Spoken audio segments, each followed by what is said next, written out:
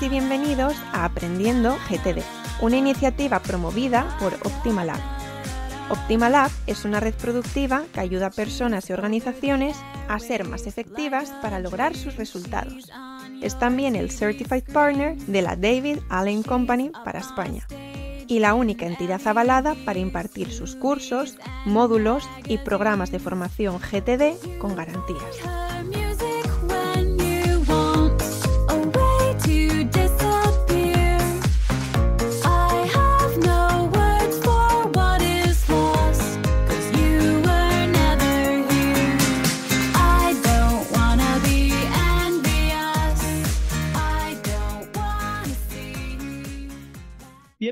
Bienvenidos a Aprendiendo GTD. Un podcast sobre GTD, productividad y organización personal en el que os iremos contando lo que vamos aprendiendo. Yo soy Manolo. Yo soy Luis. Y yo soy Sergio. En primer lugar, vamos a dejaros algo de información que puede ser de vuestra utilidad. Bueno, pues primero recordamos que continúa abierta la inscripción para el primer curso abierto de nivel 1 en Barcelona, que tendrá lugar los días 30 de septiembre y 1 de octubre. Y estáis ahí, así que quienes os queráis animar, os queda poquito ya de plazo, ¿vale?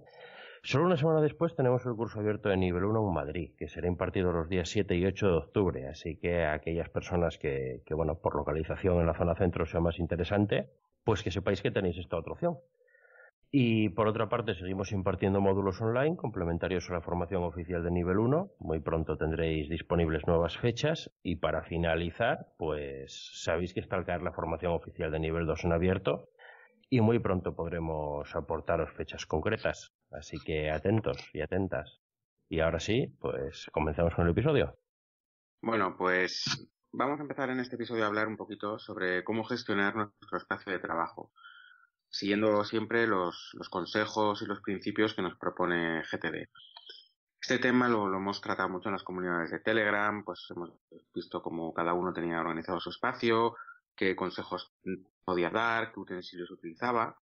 Y bueno, pues pensamos que compartirlo un poquito, no tanto desde el punto de vista personal de cómo lo hacemos nosotros, sino cómo, cómo se recomienda para GTD, va a ser bastante útil para todos vosotros. Bueno, eh, ¿qué nos dice GTD sobre nuestro espacio de trabajo? Eh, bueno, pues David Allen no profundiza estrictamente en cómo tiene que ser este espacio de trabajo, pero sí da algunos consejos en sus libros. Por otra parte, de la metodología en sí misma podemos extraer muchos tips que nos ayuden a la hora de estar a lo que estamos. Vamos a ver algunos de ellos. Bueno, David Allen eh, nos habla de la necesidad de disponer de un centro de operaciones un lugar físico de control desde el que poder abordar nuestro trabajo diario. Entonces, bueno, hay una serie de buenas prácticas que podemos seguir a la hora de establecer su ubicación o diseñarlo, que no lo tenga diseñado, rediseñarlo si ya lo tienes. Y, bueno, en su base es imprescindible disponer de, de un espacio mm, para trabajar sobre documentos físicos. Esto, esto quiere decir tener pues un espacio en tu mesa para poder leer un documento, para poder escribir, para poder, etcétera, un espacio en blanco y fundamental disponer de una bandeja de entrada física, ¿vale? Que pueda albergar temporalmente pues todas, todas nuestras capturas físicas. Cualquier persona en mayor o menor medida, ¿no? Aunque trabaje en el mundo digital, por decirlo de alguna manera, siempre va a tener algún tipo de, algún tipo de captura física. Entonces, esto es la parte fundamental, podríamos decir, que cualquier espacio de trabajo de una persona, pues bueno, no ya que aplique GTD, sino que bueno, medianamente efectiva a la hora de, abordar su trabajo, pues, pues debe cumplir, ¿vale? Pero luego tenemos, pues, pues mucho más, una serie de tips que vamos a ir enumerando y, y, bueno, exponiendo un poquito cada uno de ellos, porque cada uno pues tiene su, su, su motivo de ser.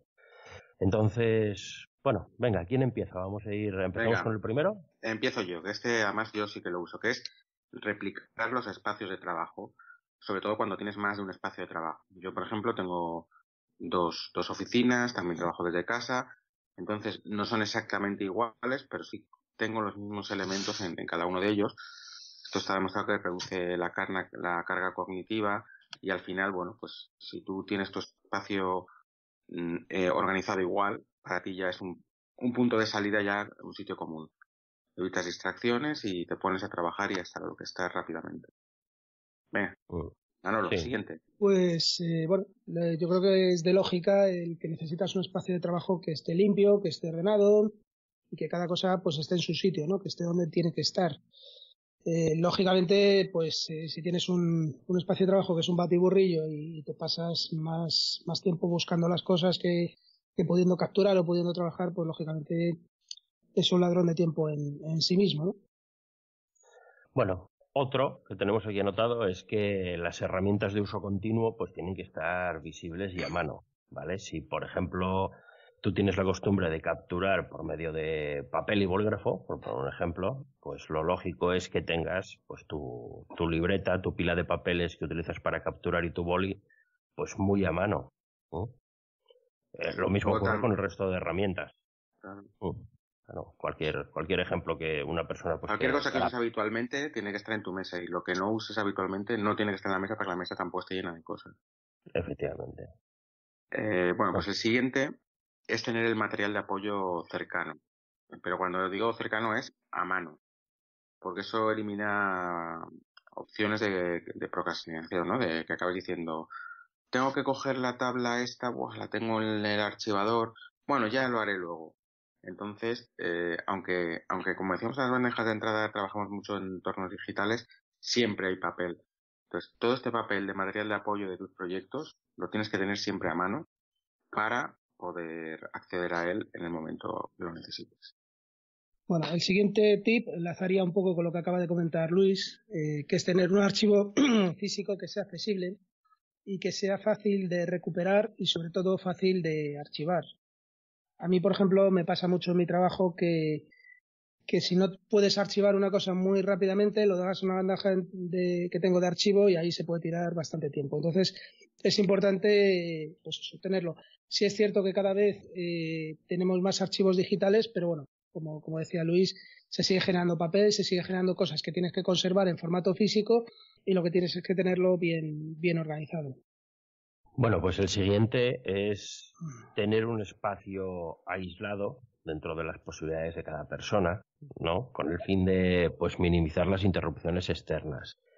Algunas de ellas posiblemente no se podrán evitar, pero bueno, tenemos que tratar de minimizarlas en, en lo posible, ¿vale? Luego cada persona pues tiene también una capacidad diferente de abstracción, etcétera, etcétera, a la hora de trabajar pero todo lo que podamos hacer para mejorar ese campo pues es indudablemente muy beneficioso para poder para poder concentrarte y estar a lo que estás cuando trabajas. Y luego ya, em, es que esto está muy relacionado con lo anterior, que es mm, alejarnos de las fuentes de distracción. O sea, si tenemos algo que continuamente nos llama la atención, pues mejor quitarlo de la sala o intentar eh, buscar nuestro sitio de trabajo que esté alejado de una ventana de mucho ruido o de una zona de paso. Apagar el móvil. con, con, el, con lo que dice Sergio. Aparte de eso, lo que decía Manolo, ¿sabes? si nos vamos a poner a trabajar en algo que requiere concentración, pues intentar dejar el móvil cargando en, en la habitación de al lado.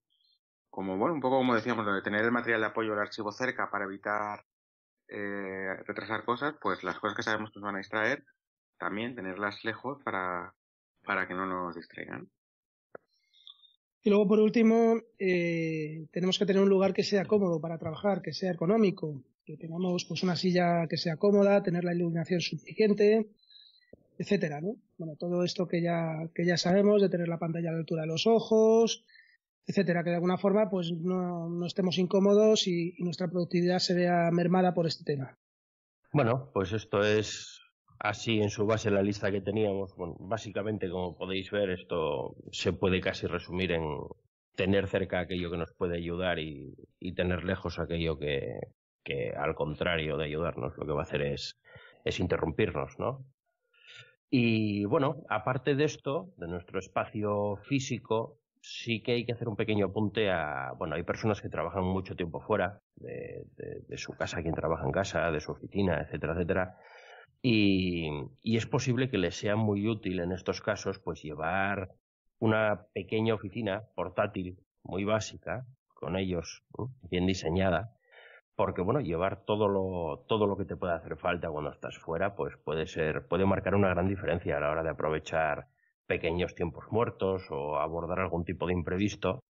¿no? Estar preparado frente a todo esto, pues, pues puede, puede significar diferencias muy importantes entre aprovechar eh, las oportunidades que nos vayan apareciendo o desaprovecharlas totalmente porque no, porque no estamos preparados.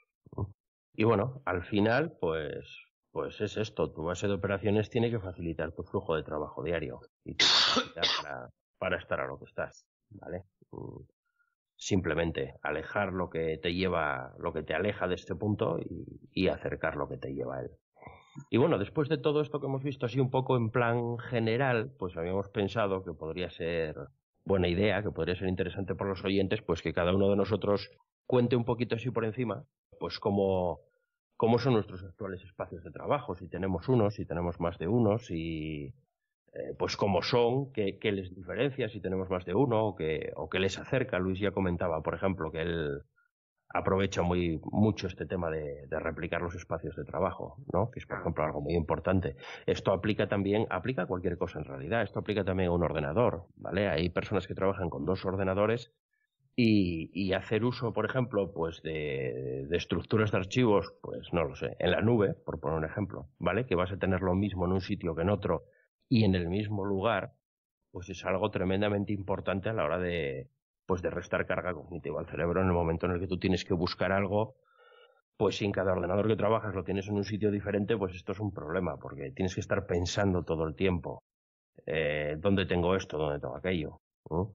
Entonces, bueno, ¿quién, ¿quién se anima a comenzar a describirnos, pues, pues cómo son sus espacios de trabajo, los que empiezo yo, empiezo yo, porque es que, bueno, yo, por ejemplo, para mí el espacio de trabajo fundamental es el ordenador. Entonces, el ordenador de casa, que es un portátil de la oficina, son dos ordenadores diferentes. Como tú decías, eh, usamos Dropbox como sistema de la nube de la oficina, con lo cual lo tengo todo replicado en los dos ordenadores exactamente igual. Y lo que hago en uno se actualiza en el otro.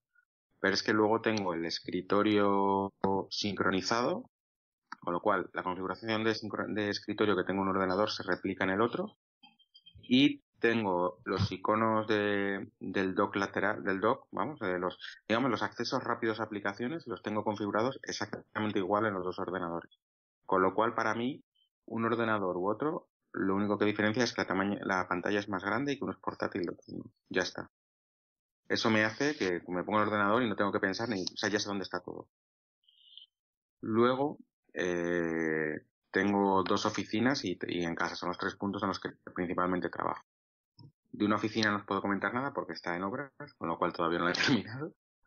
Pero la oficina normal, lo que tengo son dos, dos sistemas de archivos. Tengo un sistema de archivo definitivo, digamos, que es, por ejemplo, facturas de años anteriores, proyectos finalizados, que eso está en un armario en la cocina y que eso solamente se accede cuando hay un problema, con lo cual no es de uso habitual. Pero luego tengo el archivo habitual, que antiguamente tenía un book de ruedas de estos de carpetas colgantes. Pero como, como me estoy moviendo últimamente, unos días trabajo aquí, otros días allí, ahora en cuanto termine en una oficina ya voy a estar en tres sitios a la vez, lo sustituí hace como un año por una especie de cajita de plástico con, con carpetitas dentro, con carpetas con carpetas ya, como un acordeón, como un fuelle, una carpeta de fuelle. Y eso es el archivo y, y el material de apoyo, porque como cada carpeta es una cosa, pues ahí tengo las facturas de la empresa que ya están contabilizadas, las pendientes de pago, el material de apoyo, el material de la espera. tengo, tengo todo, todo ahí ordenado por carpetas, con lo cual, cuando sé que no lo voy a necesitar, se puede quedar en la oficina, pero si me voy, si sé que voy a estar un día de, de lado, escoger esa carpeta y sé que llevándome esa carpeta me llevo todos los documentos físicos que necesito. Y lo que sí que tengo en los dos sitios es una bandeja de, de entrada, en todos los sitios. En mi casa es un cajón donde van las cosas, en la oficina es una bandeja física donde me va, que principalmente es me dejan cosas, y en la oficina nueva pues tendré una bandeja física donde principalmente me dejen cosas. Y esa es toda la, organización que tengo. Y mi famoso elevador de monitor. que fue muy famoso en el grupo de Telegram. me convertí en un influencer con eso. Sí, sí, se lo compró un montón de gente porque verdad es que está muy bien. Así que venga, Manolo, ¿tú cómo te organizas? Porque tú realmente tienes el puesto de trabajo de, del banco, ¿no? Sí, a ver, lo mío, mm, yo no puedo, vamos, no replico puestos de trabajo porque sé que esto ya me he repetido muchas veces, trabajo en un banco y entonces, eh, bueno, pues los puestos de trabajo nos vienen un poco hechos, ¿no? Eh, el elevador del monitor lo tengo ahora en mi oficina, en mi despacho, ahí tengo un despacho, eh, además, de hecho, en, casa tengo un Mac y en el trabajo tengo un PC, o sea, no tiene nada que ver un ordenador con otro, no tengo posibilidad de replicarlos. Em, en cuanto al tema del sistema de archivos, sí tengo un book de cajones, como tú tenías anteriormente.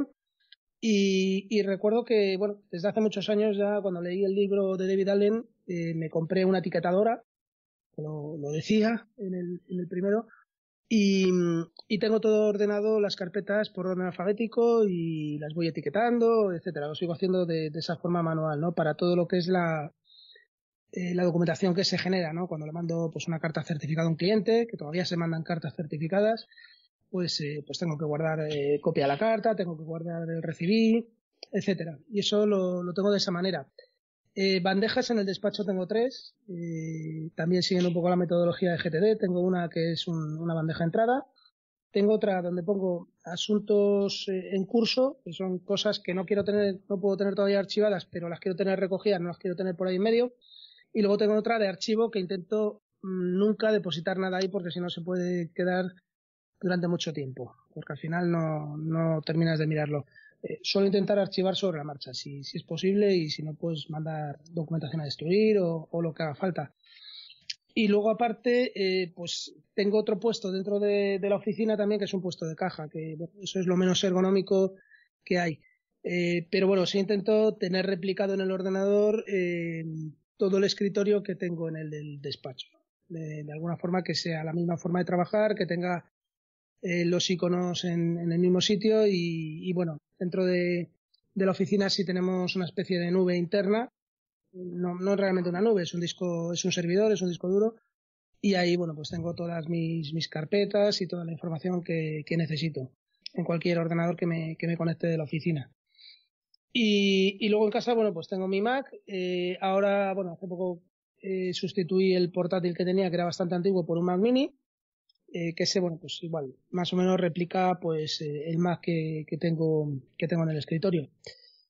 Y, y reconozco que tendría que tenerlo más ordenado. Muchas veces pues, se van quedando cosas por encima, sobre todo gadgets, ¿no? Que pides cualquier cosa, la estás probando, la dejas ahí al lado del ordenador y cuando te das cuenta, bueno, pues tienes ahí un, desbarajuste y un, y un, montón de cacharros importante. Y, bueno, periódicamente intento recogerlo todo para no, para que, bueno, para que no me distraigan, para que no me molesten para la hora de trabajar. Y básicamente un poco más. Sergio. Bueno, yo no tengo tampoco mucho que aportar, aparte de todo lo que habéis dicho. Mis espacios de trabajo son simples. Yo tengo también un espacio de trabajo en, en mi oficina y, tengo un espacio de trabajo en casa. Em, los tengo replicados en, en, todos los sentidos que puedo, salvo, en el tema de archivo, etcétera, porque es algo muy diferente, pero, pero los tengo replicados en la medida que puedo. Me gusta tener la mesa siempre limpia, ¿vale? Siempre absolutamente recogida. Yo en mi mesa habitualmente lo que tengo es básicamente una es básicamente una, una bandeja, esta es como bandeja de entrada, el ordenador, el, el monitor, eh, un disco que tengo al lado del pie del monitor, un disco, un disco duro que es el que tengo conectado al ordenador para que haga las copias de seguridad, y, y el teclado y el trackpad y, y bueno, en el caso de mi casa tengo también una lamparita, un flexo de estos de, de luz, ¿vale? Y nada más. Tengo, tengo una especie de, libreta que me compré hace tiempo en, en, Amazon. No es una libreta, es una carpetita. Es una carpetita que tiene arriba como una pinza, ¿eh?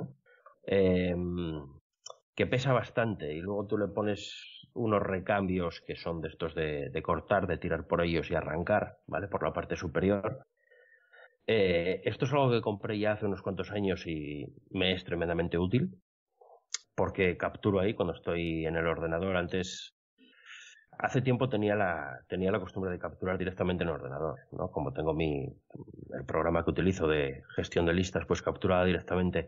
Desde hace ya bastante tiempo capturo en papel, es mucho más cómodo. Tengo esta, tengo esta libretita ahí, que ya os digo que como es pesada, pues escribes cualquier cosa en una hoja, garabateas ahí lo que sea, tiras de ella, y como la estructura pesa ni se mueve de la mesa, arrancas la hoja fácilmente, la he hecho en la bandeja de entrada, y, y luego aclaro, aclaro desde el papel.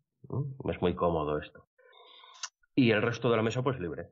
Libre, me gusta tenerlo libre. En cuanto tengo cosas por ahí en medio porque estoy trabajando sobre algún documento, lo que sea, termino, lo recojo todo, cada cosa va a donde debe ir.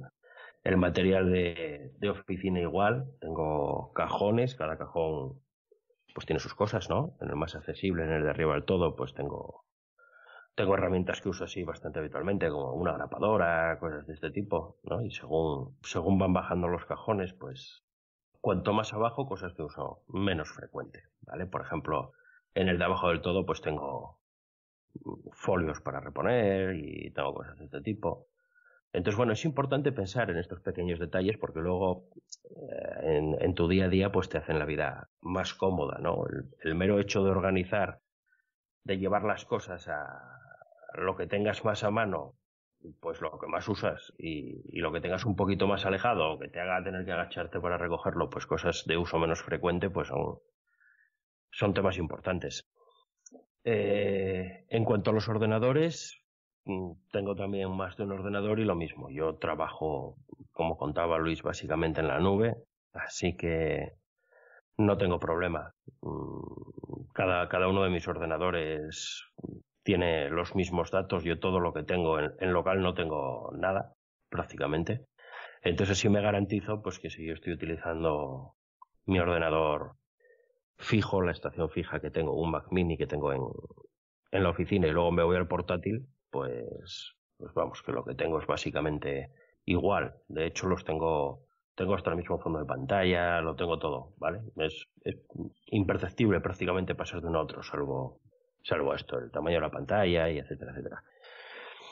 Y bueno, en otro plano, pues no sé, el tema que, que, comentábamos de la pequeña oficina portátil, yo esto lo uso, ¿vale? Tengo mi mochila, yo todos los días cuando me voy a la oficina llevo mi mochila con mis cosas, ahí va el portátil y va pues, pues bueno, mi, mi pequeño kit de cosas necesarias, siempre llevo una libreta y bolígrafos, siempre llevo los cargadores que necesito, siempre llevo adaptadores para el portátil para poder conectar pues lo que sea por VGA, por USB, por por el motivo que sea. Estos portátiles modernos ya ya sabéis, el MacBook que tengo tiene un par de puertos USB-C y no tiene más. Entonces, si no estás un poquito preparado para esto, pues en un momento dado se te puede presentar la necesidad de conectar cualquier cosa y no puedes, ¿no? Y y bueno, yo creo que nada más. Nada, todo cosas muy sencillas y muy obvias, por decirlo de algún modo, pero que bueno, que, que, que, que, en, en el flujo de trabajo diario pues te hacen la vida más sencilla. Yo creo que esto, cada persona, cada vez que detecta que necesita algo y resulta que lo tiene lejos, pues, pues lo que tiene que hacer es ir incorporando todas esas pequeñas mejoras poco a poco hasta que llegue a su, a su sistema ideal, ¿no? Para organizar el escritorio lo que sea, su estación de trabajo. Y bueno, una cosa importante, esto no toca directamente aquí, pero por ejemplo el, el tema del archivo, el archivo físico, yo en mi casa también lo tengo con, bueno, similar a lo que tengo Luis. Hace muy poquito me compré también una carpeta de este acordeón, me parece súper útil. Eso lo uso básicamente para el material, para el material de apoyo y lo demás lo tengo en, en archivadores de estos clásicos de toda la vida, ¿no? Distribuido por qué es, básicamente. Tengo uno para facturas, tengo otro para documentos que pueden ser temas relacionados con la salud, con los médicos, tengo otro para temas de los vehículos, tengo... Entonces lo tengo un poco distribuido de esta manera. En, en mi oficina en la empresa ya es diferente porque, bueno, ahí la estructura que seguimos es un poquito es un poquito distinta, pero, pero bueno, que tampoco se aleja mucho en su base conceptual de, de esa. Y pues nada más, así sobre la marcha tampoco se me ocurre nada. O sea que No lo sé. más o menos trabajamos todos parecidos. Porque yo ahora que lo decías, yo es verdad que en la mesa tengo el teclado, el ratón, pero yo sí que por precisión necesito trabajar con ratón, no puedo con el trackpad, la bandeja de entrada y luego lo que tengo es eh, un lápiz, un boli y un cuadernito pequeñito también de hojas desplegables para las capturas. Y luego tengo un cuaderno más grande porque hay veces que, que, que quería, quiero pensar algo, quiero hacer y antiguamente cogía un papel cualquiera y me ponía ahí a dibujar. Ahora prefiero tener un cuaderno siempre a mano porque primero no tengo mil papeles sueltos por la mesa y segundo porque luego cuando echo la vista atrás los tengo todos ahí guardados. No tengo por ahí una retaila de papeles que no sé qué hacer con ellos. Pero vamos, que llegué a eso por casualidad. Llegué porque tengo un montón de cuadernos en casa a la mitad o tal y, empecé a darles uso así. Y ya me he acostumbrado. Así que yo creo que, no sé, más o menos ha quedado claro que intentamos tener un sistema limpio, eh, replicable y, siguiendo más o menos mm, lo, lo que hemos comentado antes de, que tengamos las cosas cerca, que lo que usemos más accesible y que sea un sitio cómodo, ¿vale?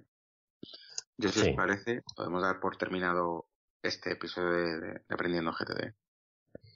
Si te ha gustado, te agradeceríamos que dejases una reseña en iTunes o en iVoox para dar a conocer el podcast. Puedes contactarnos en aprendiendogtd.gmail.com Con nuestros Twitter personales, el mío es arroba manolo-molero. El mío es arroba lsblasco. El mío es arroba ramos. O en el Twitter del podcast que es arroba aprendegtd. Y luego ya en nuestro grupo de Telegram o en la comunidad de Slack que ha alcanzado los mil usuarios y tenéis el, el enlace en el texto que acompaña a este audio. Y sobre todo, disculpad la voz que tenemos todos porque yo por lo menos llevo toda la semana fónico y he llegado a grabar de milagro. Así que... Pues Muy bien, pues Nos vemos hasta el siguiente. Venga. Un abrazo a todos, un saludo. Hasta pronto. Un abrazo. Chao.